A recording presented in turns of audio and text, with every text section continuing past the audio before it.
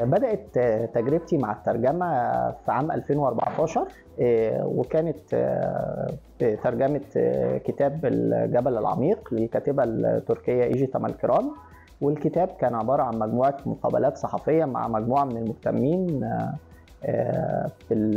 بالقضية الأرمينية والمذابح الأرمينية اللي ارتكبتها القوات العثمانية في القرن ال 18 ثم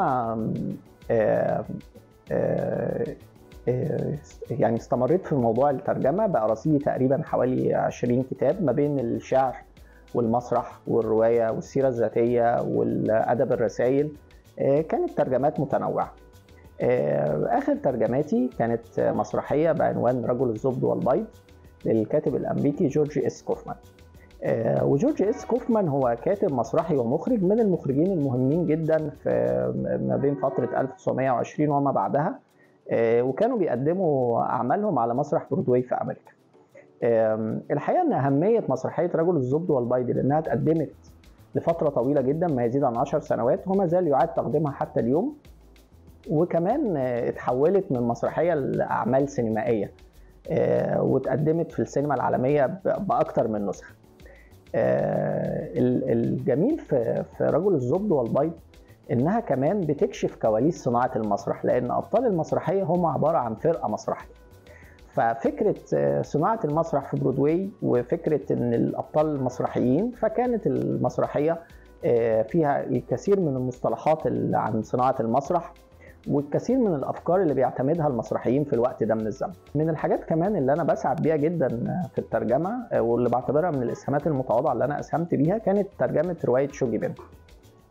ورواية شوجي بن هي كانت الرواية الأولى اللي كاتبها دوجلاس ستيوارت وبرغم إنها الرواية الأولى لكنها فازت بجائزة البوكر العالمية. رواية شوجي بن بتدور حول طفل صغير أم مدمنة على الكحول وهو مضطر طول الوقت يهتم بيها ويحاول إنه يراعاها يعني الآية هنا كانت آية معكوسة إن الصغير هو اللي بيحاول يهتم بالكبير. مفارقة رواية شوجي بن الأهم إن قصة الطفل اللي اتولد في الأحياء الفقيرة مشابهة جدا للسيرة الذاتية للكاتب دوجلاس ستيوارت إن هو اتولد في نفس الأحياء الفقيرة وكانت أمه عندها مشكلة إدمان الكحول. يمكن ده ادى الرواية حالة كبيرة جدا من الصدق وخلاها مليئة بالتفاصيل اللي بت بتجذب القارئ وتدفعه للاستمرار في قراءة الرواية رغم إنها من الروايات الضخمة اللي بتتعدى ال 500 صفحة. من الترجمات المهمة كمان بالنسبة لي على المستوى الشخصي ترجمة رواية الناقوس الزجاجي للشاعرة سيلفيا بلاث. سيلفيا بلاث من الشاعرات المهمين جدا وهي ساهمت في الحركة النسوية وناقوس الزجاجي هي روايتها الوحيدة.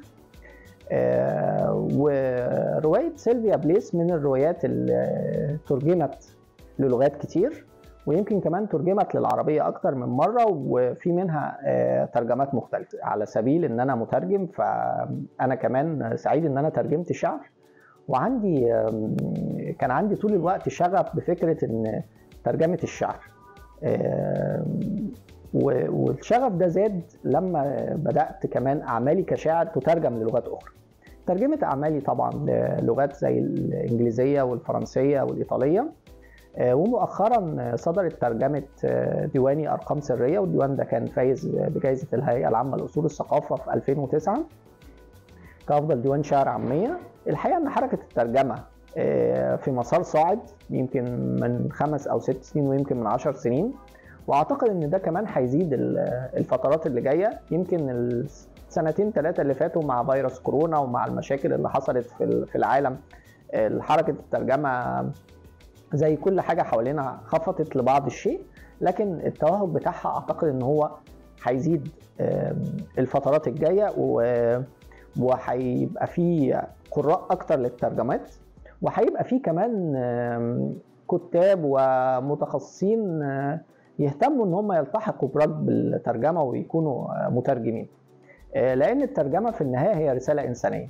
أنت بتقدر توصل ثقافتك للآخر وبتقدر تفهم ثقافة الآخر و... وتقربها لل... لقارئ بلدك.